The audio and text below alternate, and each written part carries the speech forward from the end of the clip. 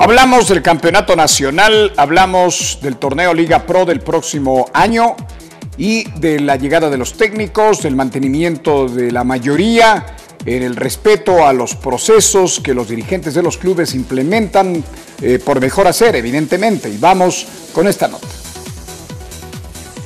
Deportivo Cuenca 2020 anuncia el arranque de su pretemporada desde el próximo 6 de enero con la llegada de su cuerpo técnico comandado por el uruguayo Tavares Silva que lo dirigió durante el 2019 en su segundo semestre. Luego de realizadas la mayoría de incorporaciones tanto nacionales como foráneas, Deportivo Cuenca teóricamente hasta el momento podría presentar la siguiente oncena titular. Brian Eras en la portería, él permanece en el club, de Nilson Bolaños para marcar sobre la derecha como carrilero era llave central Brian Cuco junto a Bedoya y Miguel Segura estaría por el costado izquierdo. En el medio sector los volantes centrales Ortiz y el experimentado Pedro Larrea. La presencia de Lucas Mancinelli, argentino, por la banda derecha, Bruno Foliados, uruguayo, por el otro costado, Rafael Biotti como centro atacante en reemplazo de Becerra y Gustavo Ayes, uruguayo, como delantero por fuera por la izquierda. El directorio del Expreso Austral espera incorporar uno o dos jugadores más a un plan en el cual predomina la presencia de jugadores canteranos que se espera se consoliden en el 2020.